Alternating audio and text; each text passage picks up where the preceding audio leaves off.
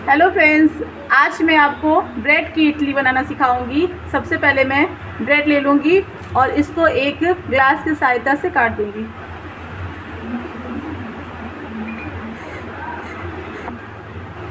इस तरह से मैं सारे ब्रेड को काट लूँगी। मैंने सारे ब्रेड्स को ऐसे काट लिए हैं। अब मैं इसका मसाला तैयार करती हूँ। सबसे मैंने चार बॉयल्ड आलू लिए हैं, इसको मैश कर लूँगी। ये मेरा आलू मैश हो गया है। अब इसको मैं रेडी करूँगी एक फ्राई पैन चढ़ाने जा रही हूँ। मैंने कढ़ाई को चढ़ा दिया है। अब मैं इसमें थोड़ा सा ऑयल डाल दूँगी मैंने थोड़ा सा ऑयल डाल दिया है। अब थोड़ा सा ऑयल को गर्म होने देंगे। अब तेल गर्म हो गया इसमें मैं थोड़ा सा राई डाल दूँगी।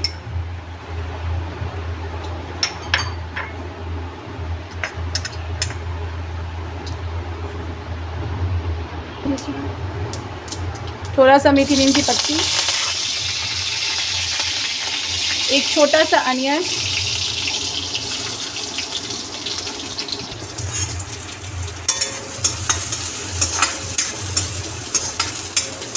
अनियन थोड़ा सा हल्का सा पिंक हो जाएगा तो इसमें मैं थोड़ी सी हल्दी डाल दूँगी।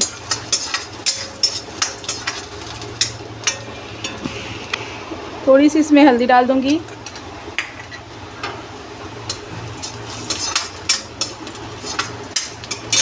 अब ये अपना आलू मैं इसमें डाल दूँगी। इसमें डाल दूँगी।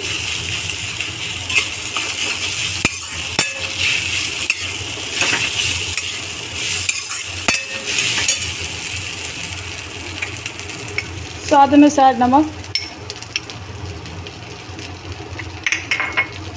थोड़ा सा सांभर मसाला। थोड़ा सा दम मसाला। ये मैंने पूरा मसाला मिक्स कर दिया है और गैस ऑफ़ कर दिया है। थोड़ा सा इसमें धनिया डाल दूँगी और इस मसाले को एक बाउल में निकाल दूँगी। अब मैं गैस ऑन कर लूँगी। तावा रख दूँगी इसके ऊपर।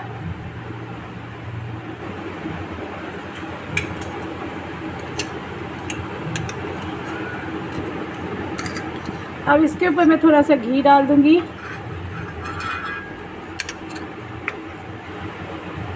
थोड़ा सा राई डाल दूँगी।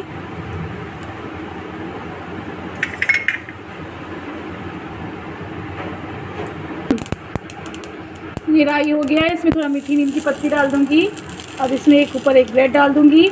आँच को मैं थोड़ा धीमा कर लूँगी। इसके ऊपर मैं थोड़ा सा आलू डाल दूँगी और इस पर एक और ब्रेड लगा के सेक लूँगी। अब ब्रेड को मैं थोड़ा साइड करके इसी तरह से फिर से मैं थोड़ा सा तड़का बना दूँगी। थोड़ा सा घी, राई मीठी नीम की पत्ती और इसके ऊपर मैं धीरे से पलट दूँगी।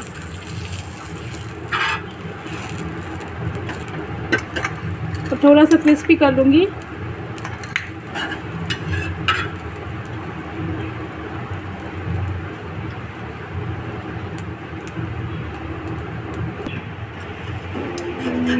ये मेरा दोनों तरफ़ से क्रिस्पी हो चुका है।